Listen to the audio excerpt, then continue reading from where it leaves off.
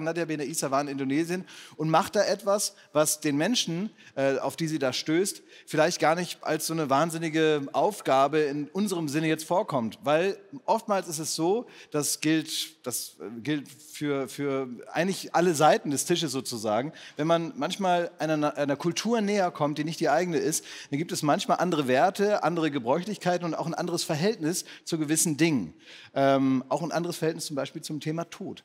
Ähm, das ist für uns dann alles wahnsinnig aufregend, fremd und manchmal auch äh, kaum auszuhalten. Für andere ist es aber vielleicht sogar was Heilsames. Ähm, das ist eine Aufgabe, die man so beim Duell um die Welt noch nie gesehen hat. Ähm, sie wird uns herausfordern, was unsere Moral und unsere Werte angeht. Aber es geht darum, respektvoll etwas entgegenzutreten, was man nicht kennt. Und trotzdem ist es heftig. Meine Damen und Herren, in Indonesien schneiden Sie sich an. Nadja Benaisa, jetzt kommt was.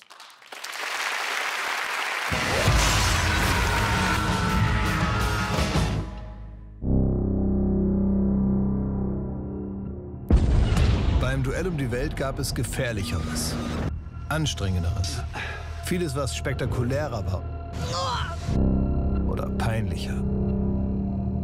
Aber nur selten gab es eine Aufgabe, die die eigene Moral und die kulturellen Werte so auf den Prüfstand stellte. Diese Aufgabe ist womöglich eine der besondersten, die es jemals überhaupt beim Duell gab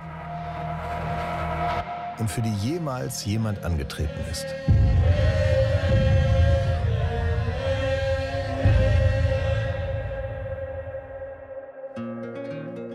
Ich mag Herausforderungen und ich finde es toll, irgendwas ganz Neues zu machen und keine Ahnung zu haben, was auf einen zukommt. Also ich kenne ja Joko schon sehr, sehr lange und als er angerufen hat und gefragt hat, ob ich mitmachen möchte, habe ich natürlich ja gesagt. Ich habe äh, Nadja Benaisa von äh, den No Angels zum ersten Mal gesehen. Da habe ich noch bei The Dome Catering gemacht. Richtig. Und da habe ich schon gedacht, wenn ich irgendwann mal Duell um die Welt mache, mit Klaas Häufer Umlauf, da muss die mitmachen. Ich wusste ja nur, dass es nach Indonesien geht, nach Palopo. Und in Palopo wurde ich dann abgeholt. Und dann ging es noch mal so drei Stunden in das Landesinnere. Es war wunder wunderschön. Die Menschen waren total nett und haben gewunken und haben gestrahlt. Das ist aber, finde ich, tatsächlich ein Ort, da wäre ich auch gerne. Sieht richtig toll aus. Ja, das ist auch schön. Ne? Ja, wirklich. Aber als alter Ja, ich weiß Duell-Veteran Ja. muss man sagen, wenn irgendwo was schön ist, Ist auch irgendwo was scheiße. Selamat Tinggal, Nadja, und herzlich willkommen in Indonesien.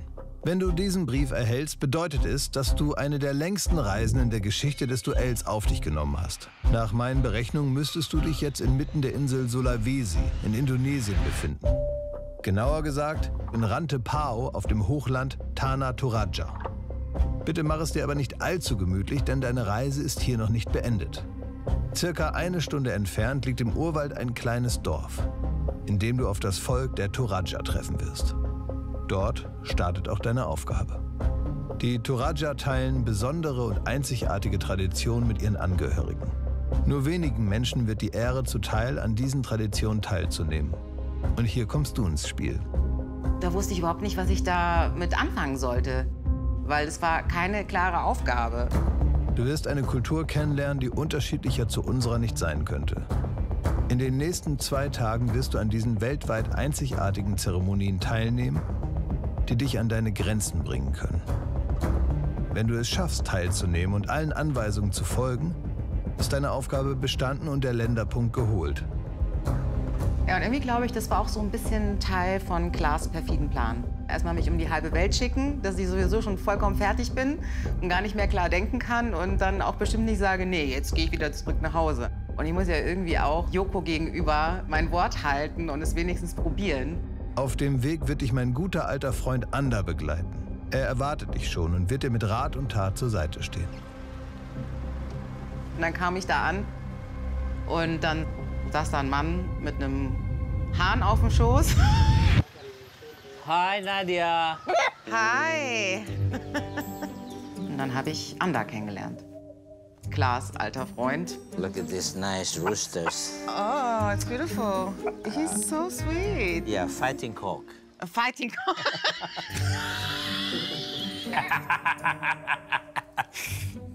Okay, gut.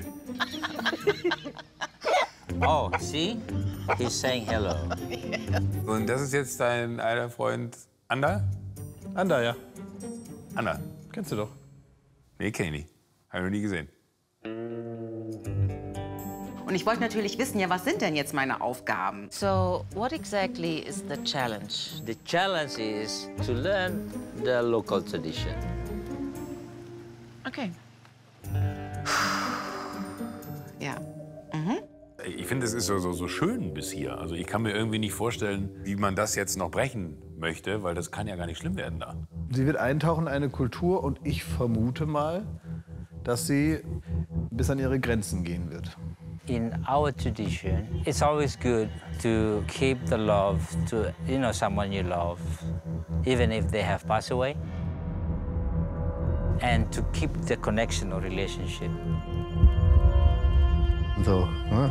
wo Licht ist, ist auch Schatten beim Duell um die Welt. Dann musste ich mich erstmal umziehen.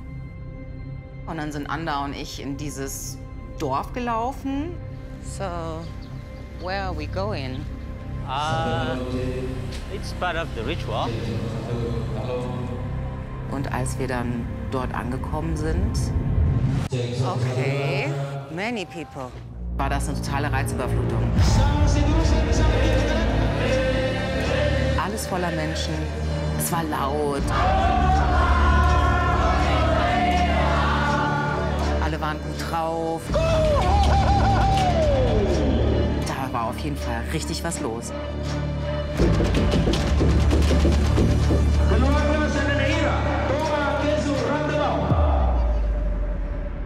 Ich dachte, okay, hier ist ein Riesenfest. Die Häuser waren geschmückt und überall stand Essen rum. Und dann sehe ich auf einmal so einen wunderschönen Schrein. Und dann sehe ich da drauf einen Sarg. Und dann hat es Klick gemacht bei mir. Dann habe ich gemerkt, okay, das ist hier keine Hochzeit oder keine Geburtstagsparty oder Family Reunion. Das ist äh, so eine Beerdigung.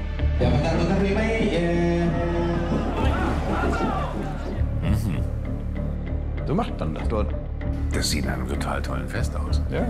Ich, wirklich, das, das ist, äh, so, so würde ich auch gerne mal feiern. Ich kann mir nicht vorstellen, das ist eine Beerdigung. Das ist eine Beerdigung. Ist eine Beerdigung. Genau, Und dann habe ich auch verstanden, warum ich dieses Gewand anziehen sollte, weil fast alle so ein Gewand anhatten. Also es war ein totaler Kontrast zu dem, was wir kennen, weil alle sind so gut drauf.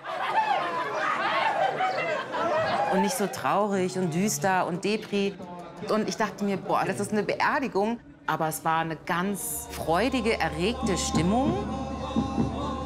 Und das ist auch irgendwie so auf mich übergeschwappt. Ich war dann irgendwie auch so, okay, ja, jetzt irgendwas Tolles passiert jetzt. Dann hat sich eine Parade gebildet. Es ging alles irgendwie so schnell. Und ich war mittendrin. Und dann bin ich mit den Frauen mitgerannt und wir haben das rote Band getragen und alle waren glücklich.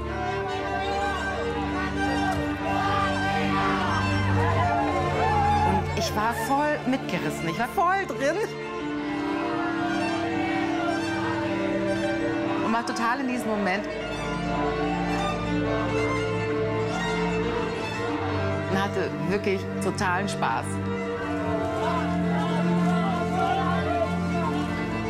Und dann habe ich geguckt, wo sind meine Leute? Die habe ich dann nicht mehr gesehen und da war so ein Gewusel. Und dann laufe ich so ein, zwei Meter weiter. Und dann habe ich da überall diese Wasserbüffel gesehen. Wunderschöne, große, mächtige Tiere und die waren so schön bemalt und geschmückt. Und ich habe mich schon gewundert so ein bisschen. Ich dachte mir, was machen denn diese ganzen Wasserbüffel hier? What is what is happening here? What is going on? Uh, it's part of the tradition. Oh nee, Leute, bitte nicht. Dann habe ich richtig gemerkt, jetzt kommt hier was anderes mit ins Spiel. Oh nee. Oh. Und dann ist bei mir die Stimmung so langsam gekippt. Und da habe ich wirklich Angst bekommen. Oh mein Gott. Passiert da jetzt das, was ich befürchte? Ja, ich denke schon, ja. Und dann wurde ein Wasserbüffel nach vorne gebracht.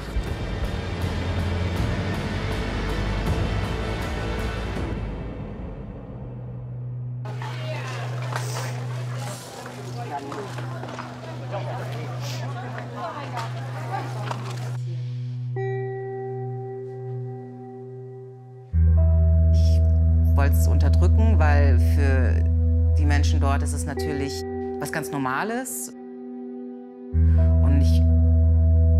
Wollte nicht, aber es ist einfach passiert. Dann habe ich angefangen zu weinen.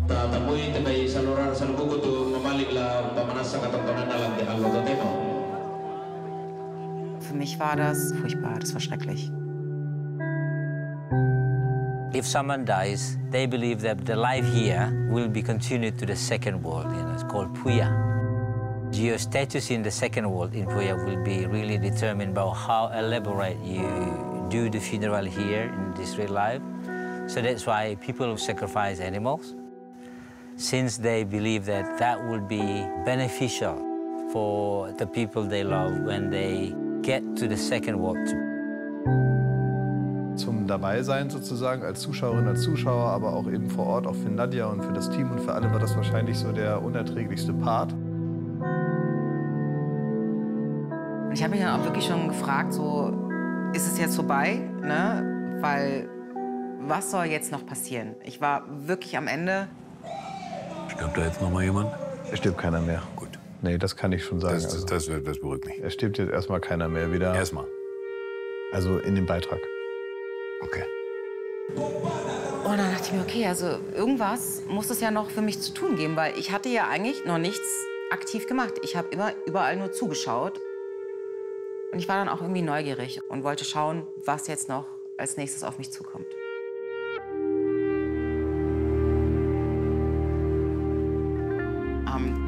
Tag hieß es, ich soll meine Familie kennenlernen. Am Anfang war alles super nett. Ich kam an. Ich wurde sehr, sehr nett empfangen. Mama Icha, Papa Icha. Hallo, Papa Icha. Hab Kaffee getrunken. Very good. Thank you. Alle waren super nett. Alles war super toll. Und irgendwie dachte ich mir, das kann es ja irgendwie nicht sein. Also dafür wurde ich bestimmt nicht hierher geholt, um irgendwie eine schöne Zeit mit einer netten Familie zu haben. Und dann hat Papa Icha was gesagt, was ich nicht verstanden habe. Selanjutnya kalau maliki mapasa, Yeah. ta linduk na lipangan suratole, tamane taruh yo tok kaburu. Maliki ma apa ma nenek. Papa Icha asked you to go with the family with him to the Mak Nenek. Okay, Yeah. yes. Was ist die Manene? Mak Nenek is a ritual. After you know someone else pass away, then we still have to have like a good connection. So that's why every year we have to come to like stone grave or patane like here. What we do is to open the grave, take the body out, clean it and dry it out in the sun and then change the cloth or the garments. Okay. Das heißt, die Aufgabe ist für Sie jetzt, sie gräbt Tote aus. Ja, muss man so sagen, ja. Okay. Okay, that's good. Gott, die hat doch keine Ahnung, was jetzt kommt. Muss man auch so sagen. Und dann sind wir da den Berg hochgekommen. Und dann sehe ich da andere Leute, auch von der Familie. Dann war da wieder so ein Schrein. Oh nee. Ey, nicht schon wieder. Wir kommen doch von der Beerdigung. Warum jetzt nochmal? So langsam, glaube ich, dämmert ihr, was passiert. Und dann sehe ich irgendwie, wie sie so eine Tür aufmachen von diesem kleinen Häuschen, was da steht. Und dann sehe ich da drin irgendwie irgendwelche Sachen. Das sah aus wie Möbel. What is going on? Well, it's part of the ritual. Und dann werden die so abgedeckt. Und dann denke ich mir, hä? das sind doch Särge. Und dann dachte ich mir, nee, oder? Leute, das sind Särge. Und dann haben die diese Särge rausgeholt. Oh. Oh mein Gott. Und ich habe überhaupt nichts mehr verstanden. What are they doing? Oh mein Gott. Und dann drehe ich mich um und dann holen die immer mehr Särge noch daraus.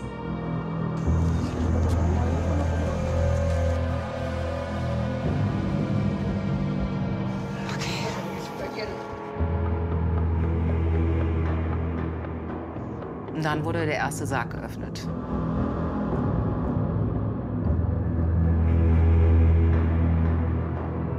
Ich war total sprachlos.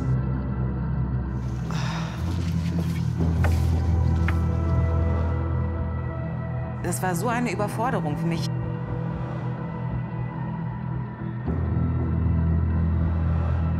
Und dann ist da alles voller Toter. Alles Tote.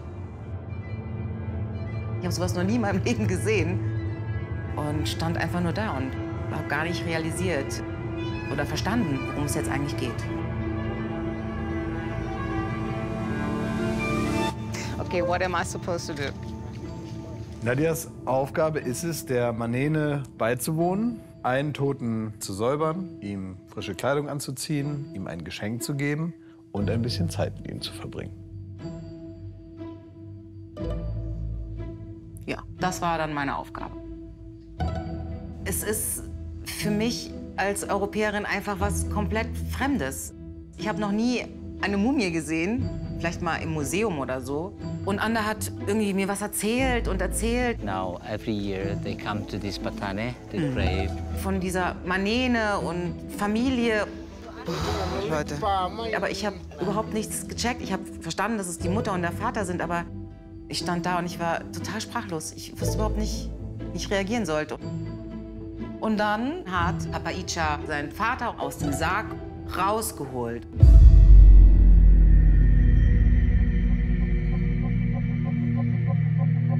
Oh mein Gott, ich muss mal kurz. Oh, oh yeah.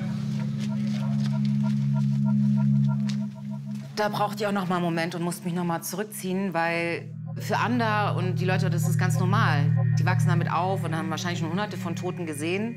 Und für mich war es wirklich das erste Mal und ich hatte dann auch so Bedenken. Nicht, dass ich, mal vor, ich mal irgendwas kaputt. Davor bricht irgendwas, oh Gott, ich weiß nicht. In unserer Kultur ist es ja eher so was Makaberes oder sowas, ähm, man stört die Totenruhe. Ich habe mich auch gefragt, wie, wie soll das funktionieren? Ich weiß gar nicht, wie die sich anfühlen, wie man die hält. Ich habe da auf jeden Fall lange mit mir gerungen. Aber ich hatte mich auf dieses Experiment eingelassen. Ich lerne diese Kultur kennen. Ich mache diese Tradition mit. Und es ist eine Riesenehre. Deswegen habe ich mich dann auch entschieden, die Challenge anzunehmen und es durchzuziehen. Probierst du es? Ich probiere es. Ich kann nichts versprechen, aber ich probiere es. Und ich hoffe, ich mache nichts kaputt. Ich finde es total absurd gerade. Krass. Dann habe ich diesen Pinsel bekommen. Und durfte dann mithelfen, den Bruder zu reinigen, zu entstauben. Und ich war irgendwie total steif, weil ich immer noch nicht wusste, wie feste darf ich jetzt mit dem Pinsel aufdrücken, weil ich immer diese Vorstellung habe, das zerfällt hier gleich alles zu Staub, wenn ich da zu feste rangehe. Ich habe dann einfach nur irgendwie funktioniert und habe dann vorsichtig versucht, diesen Staub runterzukriegen. Und es war einfach auch wirklich komisch. Also das Gesicht und die Zähne und die Haare und die kahlen Stellen. Ich ist sehr angespannt, ja. Man merkt so ein bisschen, dass sie so im Tunnel ist. Ja. Also ich war ja total verkrampft, aber die Familie war total locker. So richtig so mit Kippe im Mund. Also die waren tiefenentspannt. Now they're going to change the trousers. Dann haben wir den neue Klamotten angezogen. Ich wollte das auch irgendwie respektvoll machen und nicht mir jetzt anmerken lassen, dass das irgendwie total komisch ist. They need to have like a, a belt. It's too big, the pants. Uh, the pants is too big.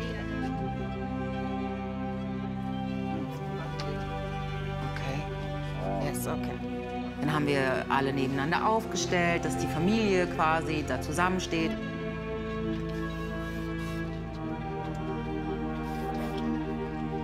Dann haben wir denen noch Geschenke gegeben. People bring favorite things of the person who died. Sometimes they bring beer or tuag, whatever, some cigarettes.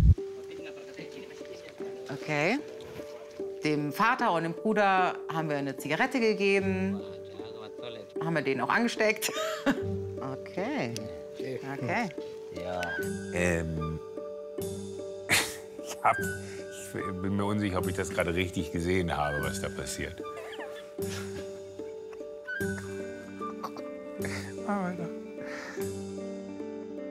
Another mother? No, my Papa Icha um, gave her already candy. Ah, die Mutter hat nicht geraucht, deswegen hat sie Süßigkeiten bekommen.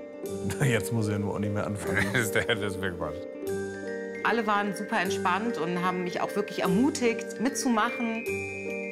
Und ich dachte immer so, darf ich das jetzt? Ist das okay? Ist das nicht komisch? Aber die waren so, nein, nein, nein, komm, komm, mach und so. Da hat man auch wirklich wieder so den Unterschied gemerkt, wie befremdlich das für mich ist, dort, wo ich herkomme, in unserer Kultur und wie selbstverständlich das für die Menschen dort vor Ort ist. Also ganz kurz, das ist wirklich schön und ich finde das ganz toll. Aber ich möchte jetzt mal den Elefanten im Raum ansprechen dürfen.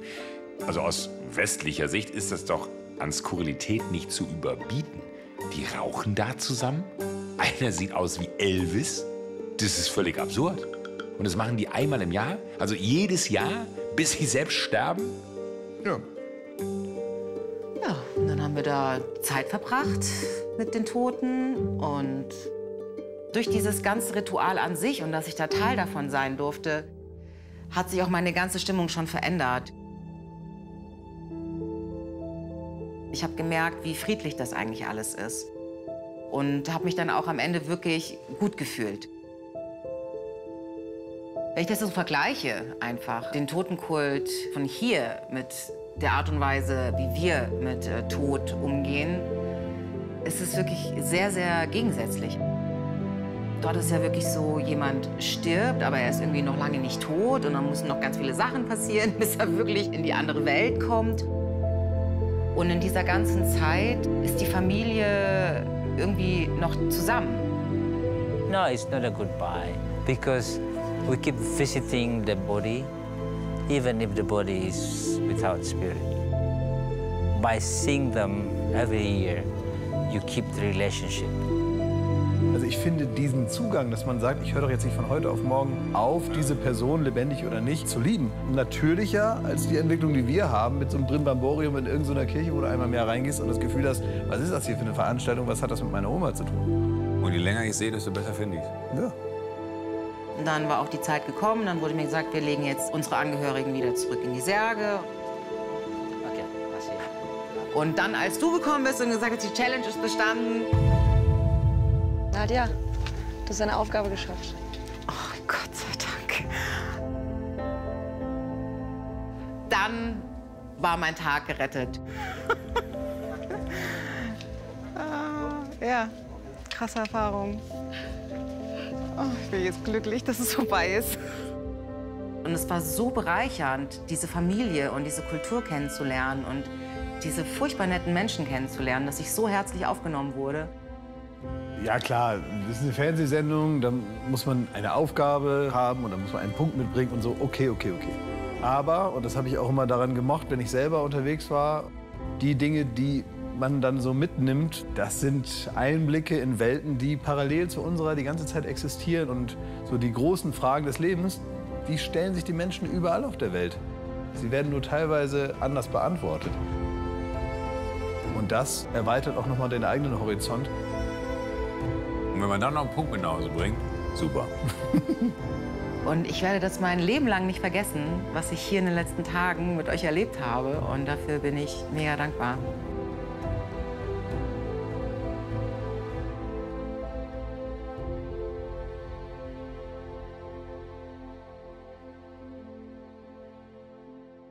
Übrigens, andere Videos auf diesem Kanal findet ihr hier. Ja, wenn da, ihr den abonnieren wollt, dann müsst ihr da oben klicken. Nee, hier. Da? Da. Da, okay, genau. gut. Und, Und da, äh, da gibt's ganze Folgen und zwar auf Join. auf Join.